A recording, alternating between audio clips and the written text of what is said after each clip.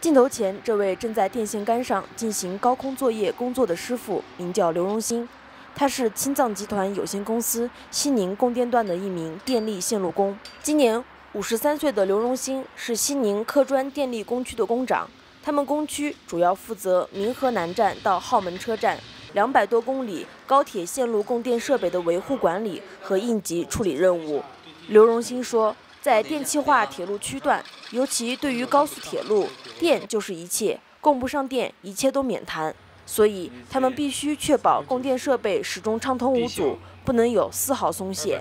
加工线路是一百一百八十公里，嗯，特别是冬天时候，我们因为就是工作性质是一个天窗点，都是晚上出去，白天休息，所以这个危险性也比较高。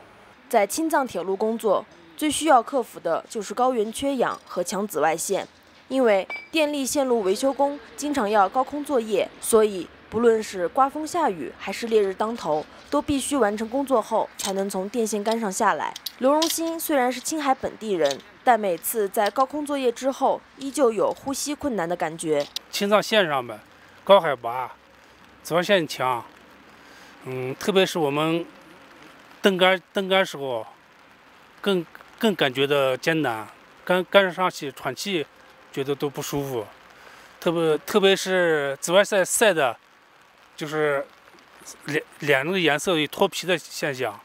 刘荣兴的同事告诉记者，他们经常会说刘工长就是高原电力设备的保健医生，因为十多年来，刘荣兴都按计划组织工区职工对所管辖的供电线路进行集中检修。